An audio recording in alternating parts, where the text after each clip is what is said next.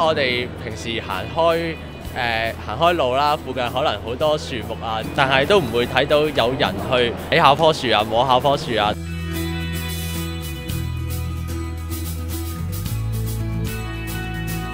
咁我哋就想整一樣嘢，就整咗呢一個裝置啦，去擺喺棵樹度，跟住亦都整咗一個 Apps 啦，可以俾啲人同棵樹溝通啦。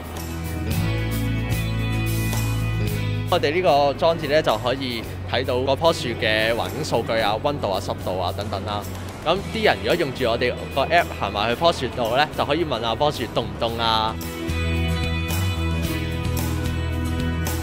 我哋誒收啲 data 翻嚟，如果做啲分析啦，就可能可以了解呢棵樹誒好似唔係幾健康喎，可能會通知相關嘅單位啦，去睇下呢棵樹係咪真係有呢個塌樹嘅危險咯。